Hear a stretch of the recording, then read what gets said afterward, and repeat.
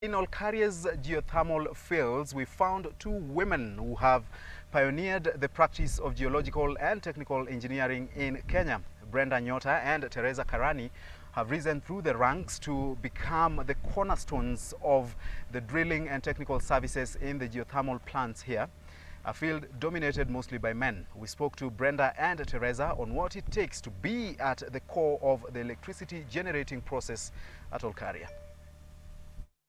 My name is Brenda Nyota.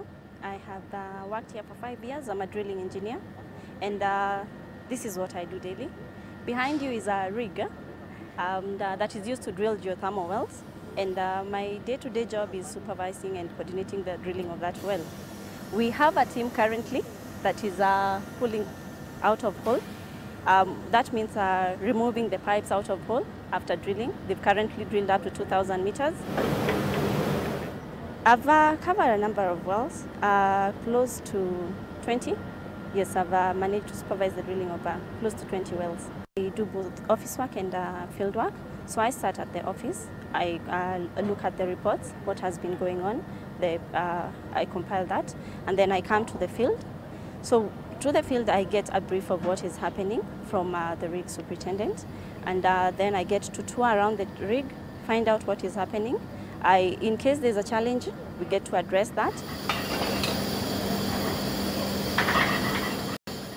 I was the only lady in my class, and the men there were very supportive. Uh, actually, I would like to encourage all the women who want to join a technical field.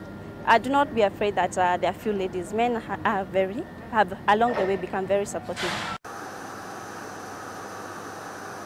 I joined Kengen as a graduate engineer 14 years ago.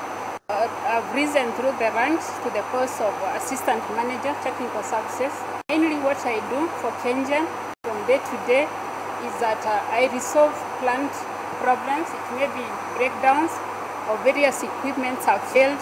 I do automation projects. I do rehabilitations and upgrades of equipment and systems.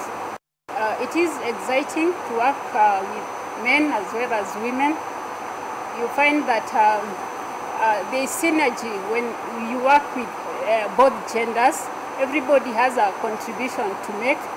So it is uh, basically it is just like any other team. The biggest challenge that I faced 31st of December, we were just preparing to, to go for New Year celebrations when suddenly a fault occurred in the plant and actually caused a nationwide blackout.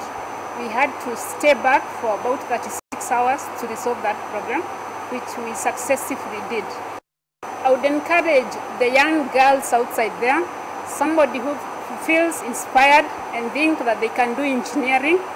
I want to confirm to them that it is exciting, it's fulfilling, it is paying. I would ask them to study engineering and finally pursue to become professional engineers.